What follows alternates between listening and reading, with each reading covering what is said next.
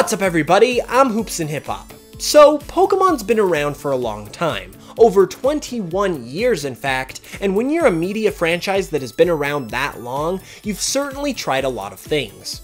Other long-running franchises, like The Simpsons for example, are famous for accurately predicting the most random things several years ahead of time, but what if I told you that Pokemon has done the same thing? Believe it or not, there have been several instances where Pokemon has introduced an idea that actually ended up happening in real life almost exactly as Pokemon had depicted it. So, here are 5 times that Pokemon predicted the future.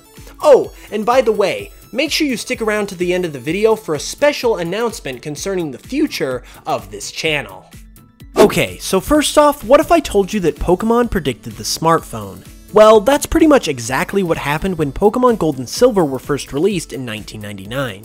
In the game, there is of course an item called the Pokegear, and while not shaped exactly like the smartphones we have today, it acts exactly like one, having a phone function in addition to many other applications like a map, a radio, and so on. There were much more primitive quote unquote smartphones that were popping up around this time, but I think the thing that separates the Pokegear is its setup of different apps similar to the modern smartphones we have today. However, this isn't the only piece of tech that Pokemon foresaw. Now admittedly, Pokemon aren't the first ones to suggest something like this next thing, but Pokemon's version is strikingly similar to its now real-life counterpart. I am, of course, referring to the Poketch. Fancy high-tech watches have been a thing in popular media for a while, but they mostly served as spy devices or walkie-talkies. Pokemon's Poketch is much more similar to our own real-life smartwatches because both have a touchscreen interface and offer a multitude of apps within its functionality. And the Poketch was around several years before the smartwatches started popping up a few years ago. Even the Pokemon related apps of the Poketch can draw parallels to smartwatches since they now have Pokemon Go, so overall it's pretty cool to see the technology of the Pokemon world become an actual thing in real life. Number 3 on this list is more or less a prediction within a game for a future game, but whatever way you look at it, it's still something cool that I wanted to mention in this video. So in Pokemon Red and Blue on Route 10, there is a picnicker who tells you that she wishes that there was a pink Pokemon with a floral pattern. Well, almost 15 years later, we were introduced to Munna in Pokemon Black and White, a pink Pokemon with a floral pattern. Now this one is obviously different because it's Game Freak sort of predicting their own future, but it's still awesome to see something that was mentioned in the very first Pokemon games come to life over a decade later. Fun fact, by the way, it seemed to be the dream of this picnicker to have a pink Pokemon with a floral pattern, and it just so happens that Munna, the pink Pokemon with this floral pattern, has a design and concept that revolves completely around dreams. So this one really does a good job of coming together full circle. Heading back to the tech examples, the Pokemon anime showed off a form of Skyping slash FaceTiming well before either of those were actually mainstream. All throughout the anime, and as soon as the second episode, we see devices where Ash is able to call his friends and family and see them face to face on screen. Now, while this might look like a sort of computer, it's actually more so portrayed as a type of phone, because it literally uses a phone in order to talk and listen to other people, and in the second episode, Ash's mom gets a call, and her device says...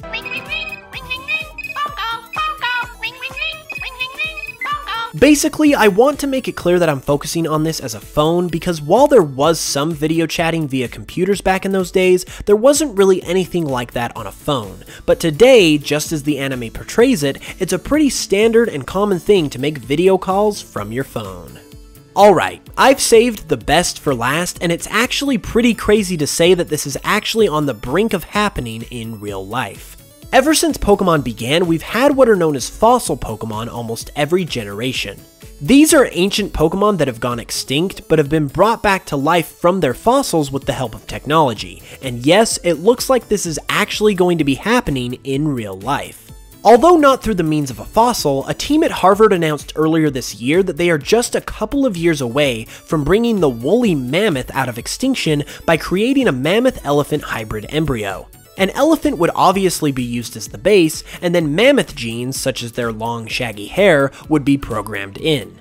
Of all the things in Pokemon that you might have wished would happen in real life, this one was certainly one of the least likely. But it's absolutely incredible to see that something like this is on the verge of actually happening, and it's really cool that something from the Pokemon world such as this could likely become a reality. And those were five times that Pokemon predicted the future. It was really fun looking at some of the things from the Pokemon world that actually ended up happening in real life, and hopefully you learned a few things that you weren't quite aware of. Speaking of the future, however, right now is a super important time for the future of this channel. As you may have been aware, I recently graduated college a couple weeks ago, and so right now is really the moment of truth for me to try and make my dream of having YouTube as my job a reality, and this is where I need your help. I have officially opened up a Patreon, and while it's certainly not required, if you have enjoyed the content that I've been making on this channel and want to support it, it would be unbelievably appreciated if you could make a donation of any size. However, there are some awesome perks that you can also receive by donating. Once again, this whole Patreon thing, it's not required, but if you do want to help me basically live out my dream and you want to support me and my content, it would be amazingly appreciated if you could make a donation of any size. Because even if we had half the people who subscribe to this channel donate only $1, we would be doing phenomenal. So any amount is greatly appreciated because it really adds up. Once again, thank you so much if you have watched this far. I really appreciate it. Links to my Patreon will be in the description and on the end card. And as always, I will be back with another video soon. So once again, thank you, and I will smell you guys later.